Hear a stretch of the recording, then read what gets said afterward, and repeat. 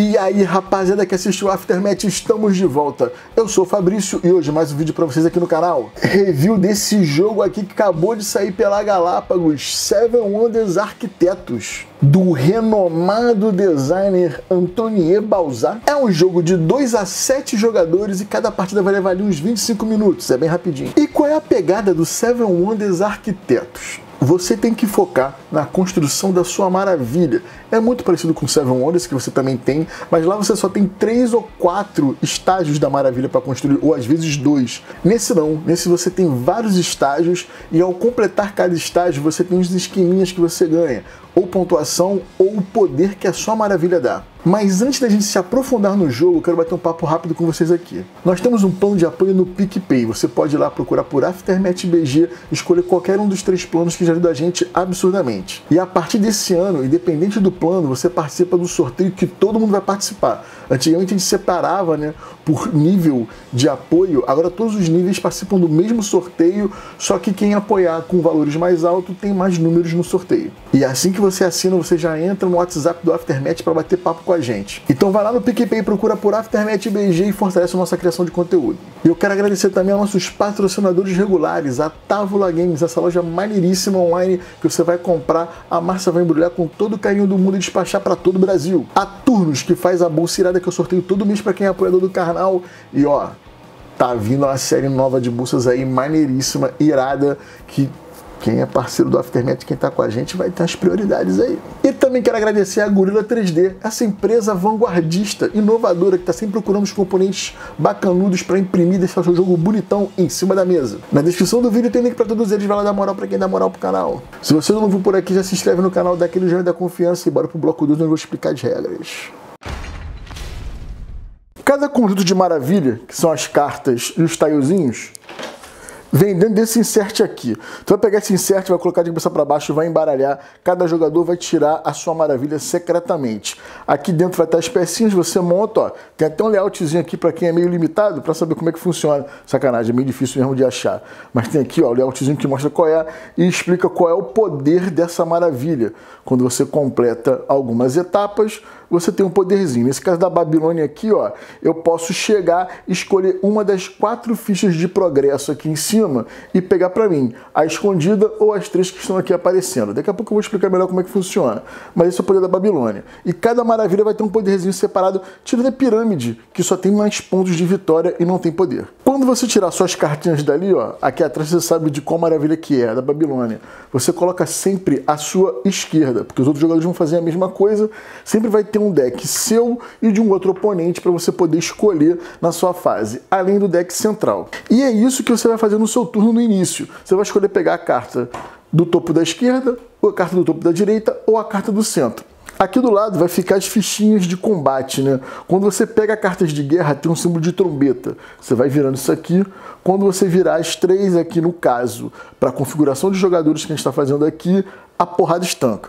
Se for mais jogadores, vai ter mais trombeta aí. Como eu falei anteriormente, no seu turno você vai escolher ou a carta da esquerda, da direita ou a carta do centro. Pegou a carta, a carta fica com você aqui de boa. A carta do ouro ela é um coringa para recursos.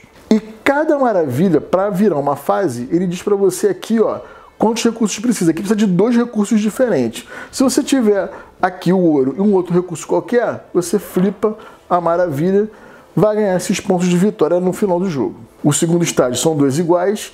Lembrando que quando você completa o segundo estágio, você pode fazer o poder dessa maravilha, que é pegar uma das tecnologias lá, né, progressos lá em cima. Quando você escolher a carta azul do gato, ó, isso aqui vale dois pontos de vitória, igual às cartas azuis lá no Seven Wonders normal. Só que você pega o gato. Quando você pega o gato, no Board Game Arena faz um barulhinho. Eu recomendo que você faça esse barulhinho no físico também, que é fazer um pião e bota aqui.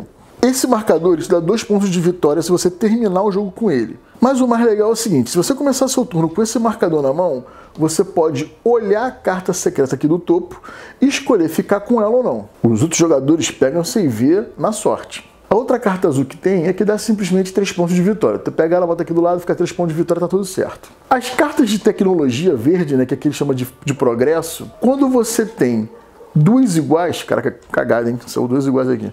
Quando, sai do, quando você tem duas iguais, você pega um lá de cima.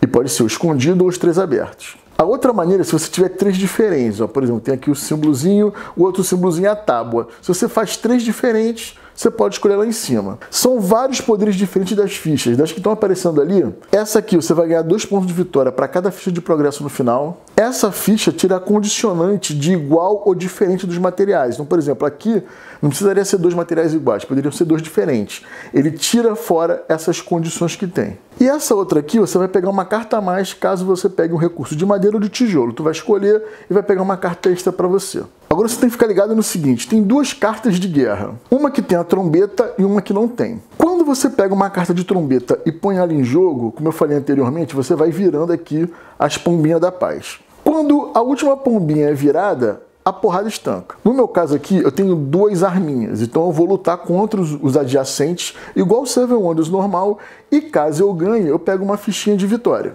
que é essa aqui, e boto aqui em cima para mim.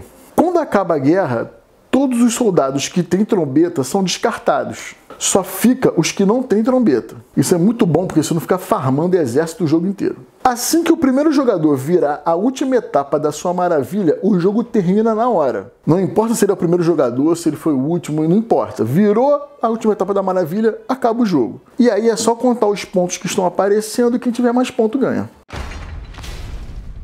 E qual é a dica que eu dou para quem vai jogar Seven Wonders Arquitetos pela primeira vez? É muito importante o poder de cada maravilha. Por isso que eu achei a pirâmide a pior das maravilhas, porque ela não te dá um poder. Ela dá pontuação maior quando você completa cada etapa. Mas os poderes das pirâmides ajudam bastante. É poder para pegar carta extra, para escolher qualquer carta que tiver na mesa. É bacana você ficar ligado nisso e cumprir esses estágios da sua maravilha que te dão esses poderizinhos. Isso vai acelerar a sua compra de carta, tá? Vai fazer você ter uma situação melhor no jogo. E os poderes, né, os, as evoluções que tem lá, né, as fichinhas verdes, tem fichinhas que sempre vão dar gatilho de comprar de carta extra, dependendo da carta que você comprar. Isso também é interessante no início do jogo, para acelerar a compra de cartas e acelerar ali, né, você montar a sua mesa. Então fica ligado nessas, nessas oportunidades de fazer o seu gameplay fluir, fluir melhor. E o que, que eu achei do jogo? Para começar minha nota, nota 8. Gostei muito do jogo. Ele não é o melhor dos Seven Wonders, mas ele consegue ficar junto com eles ali. O Seven Wonders Duel é dos melhores jogos que tem para duas pessoas, bem estratégico na seleção das cartas. O Seven Wonders tradicional não tem nem o que se falar com as expansões armadas, então, líderes, o jogo brilha. E o Seven Wonders Architects ele entrou agora, ele é novo, ele tem uma outra pegada, por mais que tenha um lance da seleção de, de cartas e tal, que tem um lance das maravilhas, mas ele tem uma pegada muito mais family game. Se você jogar com cinco pessoas, sete pessoas, com muitos jogadores, jogadores, ele fica um pouco caótico porque você não tem como controlar as cartas que vão ser passadas para os outros jogadores, né? Que os outros jogadores vão ter opção. Mas no Seven Wonder Clássico também tem esse problema, né? Às vezes o cara da mod lá deixa passar uma carta muito boa para outro jogador, né?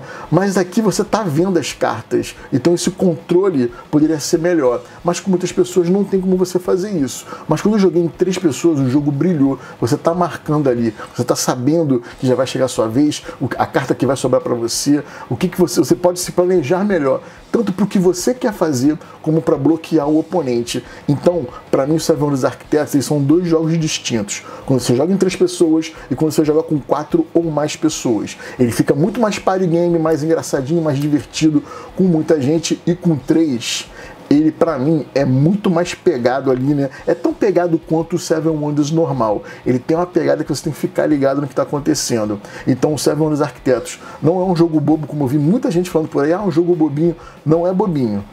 Ele é um family game para muitos, para muitos jogadores e para poucos jogadores ele é pegada ali, ó.